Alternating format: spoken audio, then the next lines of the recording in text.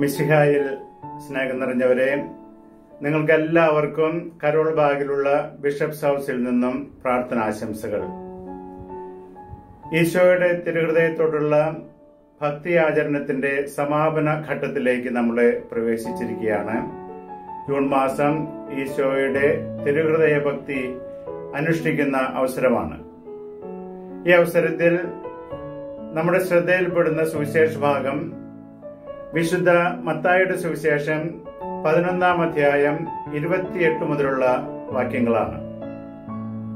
അധ്വാനിക്കുന്നവരും ഭാരം വഹിക്കുന്നവരുമായ നിങ്ങളെല്ലാവരും എന്റെ അടുക്കൽ വരുവിൻ ഞാൻ നിങ്ങളെ സമാശ്വസിപ്പിക്കാം.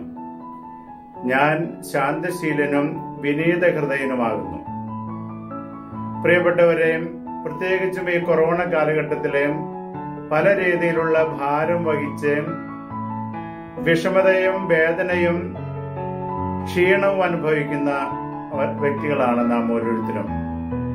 അങ്ങനെയുള്ള സാഹചര്യത്തിൽ നമുക്ക് ശക്തി പകരാനായിട്ട് നമ്മുടെ വേദനകളെ സന്തോഷങ്ങളാക്കി മാറ്റുവാനായിട്ട് ഈശോയുടെ നിലനിൽക്കുന്ന സമാധാനം അനുഭവിക്കുവാനായിട്ട് സ്നേഹധനനായ ഈശോയുടെ തിരുഹൃദയം നമ്മെ ക്ഷണിക്കുകയാണ്.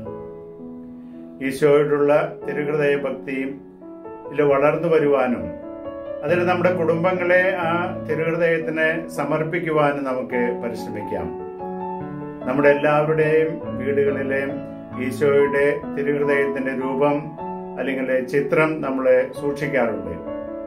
അതും വെറുമൊരു പ്രതീകമാകാതെ ഓരോ ദിവസവും ആ ഹൃദയത്തിന് മുൻപിൽ നമ്മുടെ ശിരസ്കരായും നമ്മുടെ കുടുംബത്തെയും കുട്ടികളെയും ഈശോയുടെ തിരുഹൃദയത്തിന് പ്രതിഷ്ഠിച്ചുകൊണ്ട് ഈശോ നമുക്ക് വാഗ്ദാനം ചെയ്തിട്ടുള്ള ശാശ്വതമായ സമാധാനവും സന്തോഷവും അനുഭവിക്കുവാനായിട്ട് നമുക്ക് പരിശ്രമിക്കാം. നമ്മുടെ പ്രാർത്ഥനയുടെ വ്യക്തിപരമായിട്ടുള്ള പ്രാർത്ഥനയും കുടുംബ പ്രാർത്ഥനയും എല്ലാം ആ തിരുഹൃദയത്തിനോട് ചേർന്ന് ഈശോയുടെ സ്നേഹത്തിൽ നിലനിൽക്കുവാനായിട്ട് നമുക്ക് പരിശ്രമിക്കാം. ദൈവം നമ്മെല്ലാവരെയും സമർത്ഥമായിട്ട് അനുഗ്രഹിക്കട്ടെ. ബിഷപ്സ് ഹൗസിൽ നിന്നും ആർച്ച് ബിഷപ്പ് കുര്യാക്കോസ് ഭരണകുളങ്കര